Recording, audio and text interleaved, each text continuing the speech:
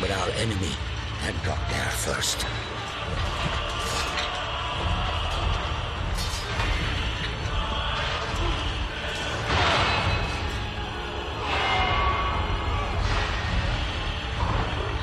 Moria had been taken by legions of orcs, led by the most vile of all their race, Azog, the Defiler.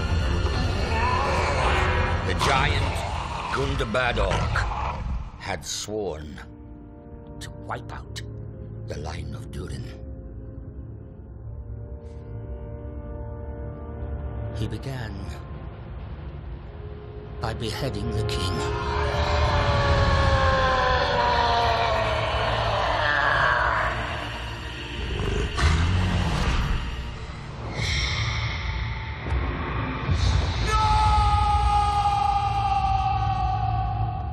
Thrain, Thorin's father, was driven mad by grief.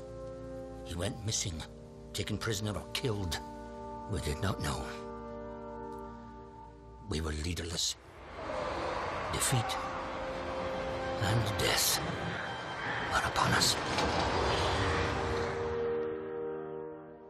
That is when I saw him.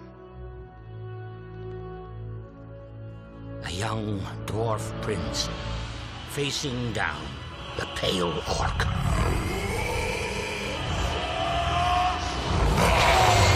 He stood alone against this terrible foe.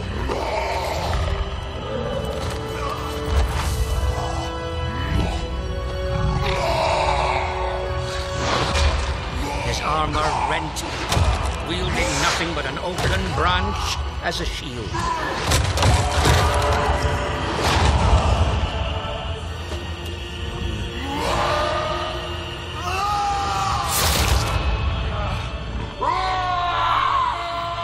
Azog, the Defiler, learned that day that the line of Durin would not be so easily broken.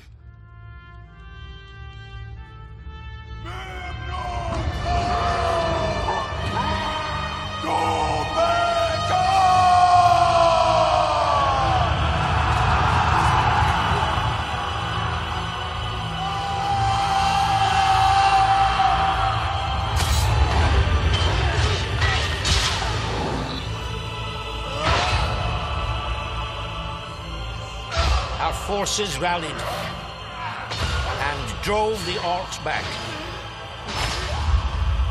Our enemy had been defeated.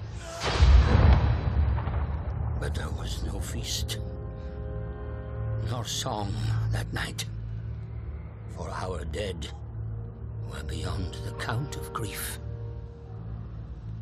We few had survived.